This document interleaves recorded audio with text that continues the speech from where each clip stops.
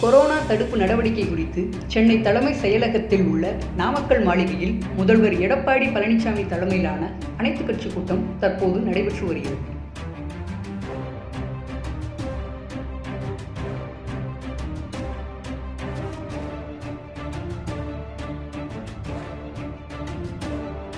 இக்கூட்டத்தில் திமுக சார்பில் திமுக மகளிரணி செயலாளரும் மாநிலங்களவை உறுப்பினருமான கனிமொழி மற்றும் அக்கட்சியின் அமைப்பு செயலாளர் ஆர் எஸ் பாரதி ஆகியோர் கலந்து கொண்டனர்.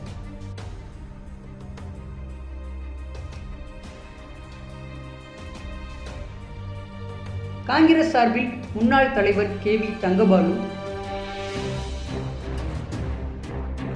பாஜக சார்பில் பாஜக மாநில தலைவர் எல் முருகன்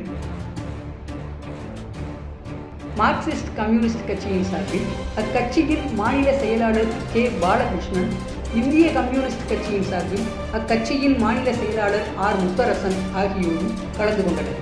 இவர்களுடன் துணை முதலமைச்சர் ஓ. பன்னீர்செல்வம் சுகாதாரத்துறை அமைச்சர் விஜயபாஸ்கர் சுகாதாரத்துறை செயலாளர் ராதாகிருஷ்ணன் மற்றும் சுகாதாரத்துறை அதிகாரிகள் போன்றோரும் கலந்து கொண்டனர் என்பது குறிப்பிடத்தக்கது. மேலும் இக்கூட்டத்தில் ஆக்சிஜன் உற்பத்தி செய்வதற்காக தூத்துக்குடி ஸ்டெர்லைட் ஆலையை திறப்பது குறித்தும் வேகமாக பரவி வரும் கொரோனா பரவலை தடுப்பதற்கு முழு ஊரடங்கு திட்டத்தை அமல்படுத்தும் திட்டம் குறித்தும் ஆலோசிக்கப்பட்டு வருவதாக தகவல் வெளிவந்துள்ளது